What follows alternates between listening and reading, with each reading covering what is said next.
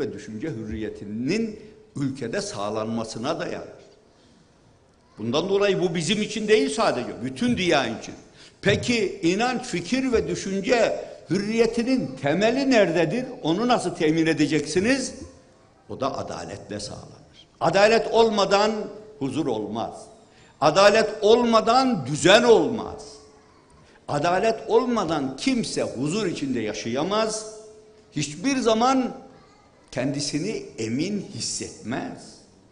Bu prensipler olmadan olmaz. Ha bu prensiplerin arkasından da elbette insanımızın maddi ihtiyaçlarının karşılanması, bugünkü düzenin içinde ekonomik olarak ihtiyaçlarını giderecek imkanlara kavuşması gerekir. Onun arkasından da izzet ve şeref kazanır ve bütün dünyaya hakim olmak için gayret ederiz biz. Ama bu söylediklerimi unutmayın. Biz farklıyız. Onun için ülkemizde ahlaki ve manevi değerlerin ihyasını olmazsa olmaz olarak görürüz. Yeter mi? Yetmez.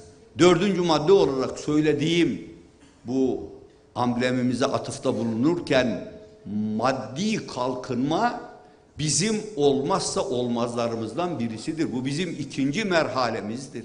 Biz ekonomik yönden, maddi yönden tür dünyanın en güçlü, en müreffeh ülkeleri arasına girmeye, onların önüne geçmeye mecburuz.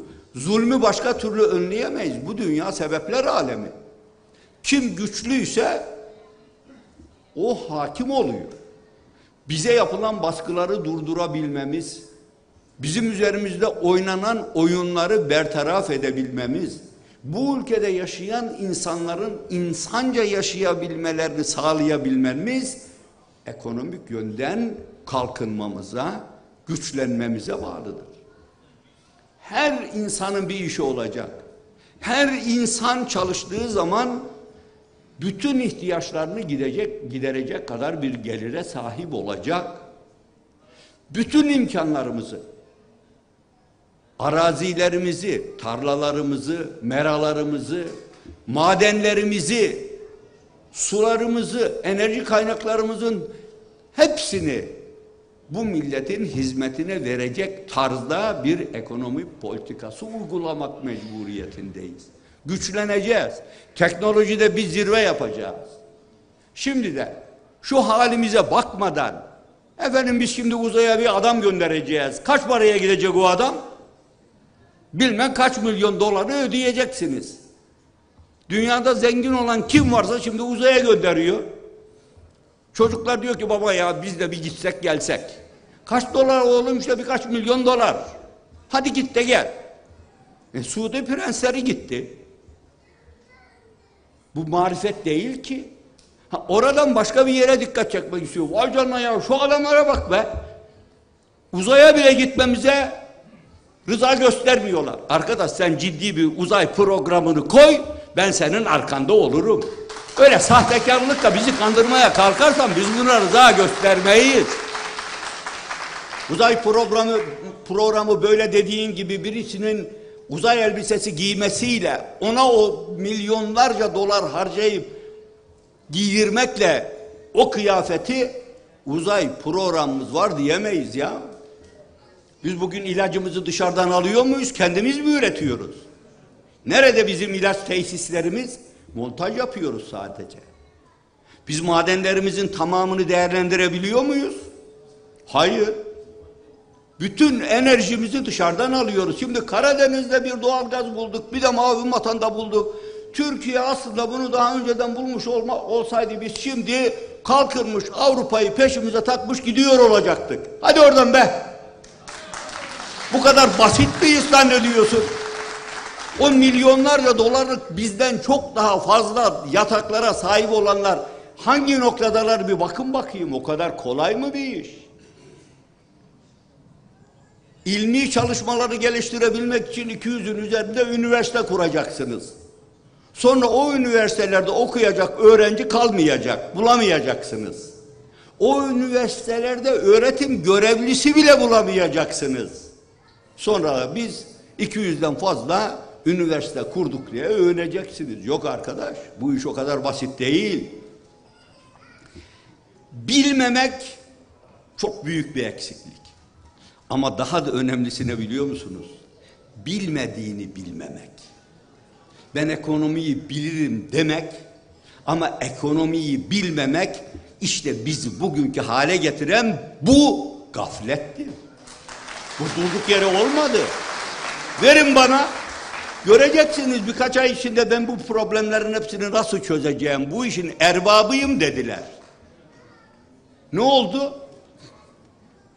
Muhterem arkadaşlarım Türkiye böyle bir duruma tarihinde hiç düşmedi. Merkez Bankası'nın kasasının dibi delindi. Para yok. Onu telafi edilebilmek için alınan borçlar bile o açığı kapatamıyor. Hiçbir şeye güçleri yetmiyor. Meselenin ne olduğunu bilmiyorlar. Anlamıyorlar. Anlamak da istemiyorlar. Kendilerine çok açık, net ifade ettik bugüne kadar. Arkadaş siz ekonomiyi rayına oturtmak istiyorsanız kaynağa ihtiyacınız var. Kaynağa ihtiyacınız varsa ilk yapmanız icap eden iş. Kendi evinize bir bakın. Geliriniz giderinizi karşılamıyorsa ne yaparsınız? İsrafın tamamını kesersiniz. Bir yere giderken dolmuş pahalıysa yürümek mecburiyetinde kalırsınız. Oğlunuzun cebine 10 kuruş, 10 lira harçlık veremezsiniz. Bugün hale geldiğimiz hal bu. E, devlet olarak ne yaparsınız? Bütün israfı durdurursunuz. Tamamını. İsraf ne demek şu anda? Ülke ekonomisine katkı sağlamayan her harcama israftır. Şu anda sarayda siz iki tane sandviç yerine birini yemeye başlarsanız tasarruf etmiş sayılmazsınız.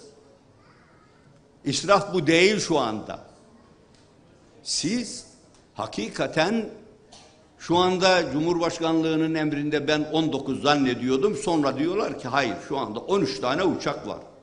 Niye 13 tane uçak var? Bunların her biri yüz milyonlarca dolar. Bir yerden bir yere Sayın Cumhurbaşkanı gittiği zaman yüzlerce insanla beraber gidiyorlar. Arabalar, zırhlı araçlar, silahlı insanlar. Bir uçak gitmiyor ki. Sadece Türkiye'de değil, yurt dışına giderken de aynen gidiyorlar. E dünyada canı kıymetli olan bir tane bizim Cumhurbaşkanımız var. Başkasının hiç canının kıymeti yok. Böyle bir mantık olur mu ya Allah aşkına? Çok basit bir şey söylüyorum. Ama öbür taraftan biri de millet görsün diye yapılan harcamalar var. Şu anda şimdi bazı isimleri verirsem dönüp bana saldırmaya başlıyorlar. Onun için isim vermeyeceğim ama arkadaş öyle yollar yapıyoruz. Öyle köprüler, öyle tüneller inşa ediyoruz. Devlet dairelerinde öyle büyük inşaatlar yapıyoruz ki bu inşaatları yapmak Allah'tan korkmamak manasına gelir. Açık söylüyorum. ne faydası var? Yeni bir genel kurmay başkanlığı inşa ediliyor. Efendim biz Orta Doğu'nun en güçlü ülkesi olarak 100 yıl önce inşa edilmiş, 70 yıl önce inşa edilmiş olan genel kurmaylık binasında nasıl kalırız ya? Bu bize yakışır mı? Bütün silahlı kuvvetlerin başındaki insanlar aynı mekanda olmalı. Birbirleriyle kolay diyalog kurmalılar. Yeri geldiği zaman bir araya gelmeliler. Ne olacak? Bunun Türk ekonomisine, Türkiye'nin daha verimli bir noktaya gelmesine hiçbir katkısı yok. Saraylar inşa edilince problemlerimiz çözülür zannediyor. Bakın İstanbul'da da buralarda da herhalde adalet binaları yapıldığında üzerine hep adalet sarayı diyorlar. ya Adalet sarayda gerçekleşmez.